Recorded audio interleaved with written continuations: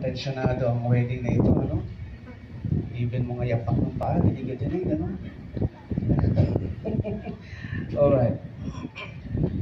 In behalf of BCIDP Law Office and General Consultancy, we would like to share these insights on marriage law on Philippine setting.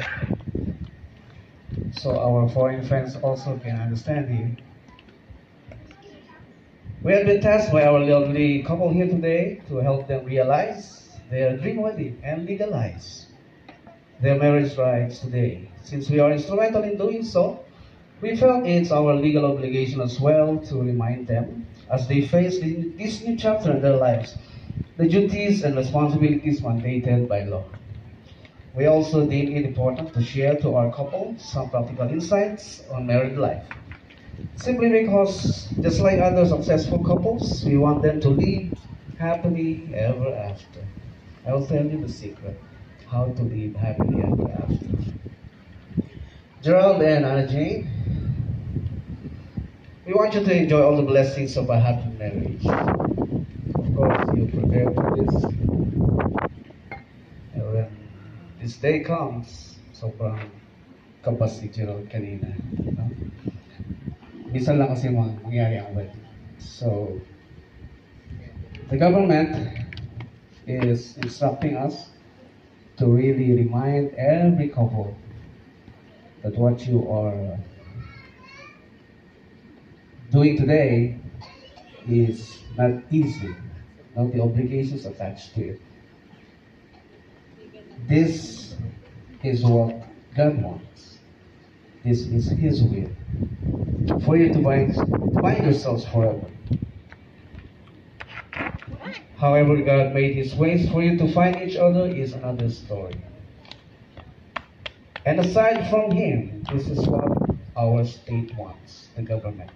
For you to live forever as spouses, as a happy family.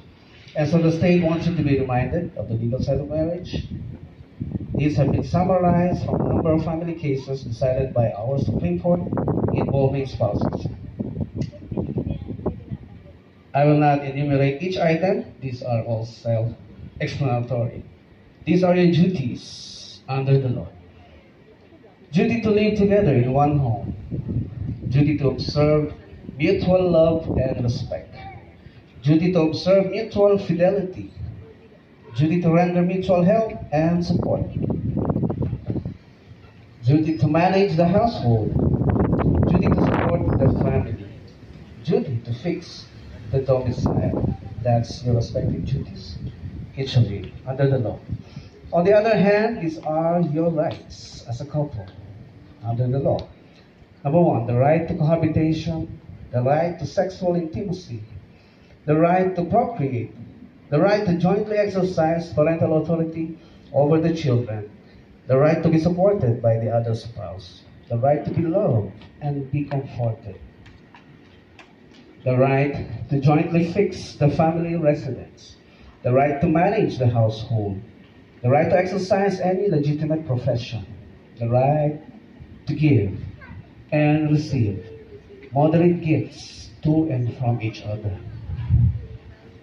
right to retain the ownership, possession, and administration of your exclusive separate properties. So these are your duties and rights as a couple. So if any of you fail to fulfill these duties prescribed by law, there are remedies provided by law, but we will not share them with you anymore because we don't want you to reach that point. Because you have chosen wise men and women here, played by your principal sponsors, as your second parents, to guide you, to help you. So to our dear principal sponsors, may we remind you that you are not just witnesses here today, as required by law,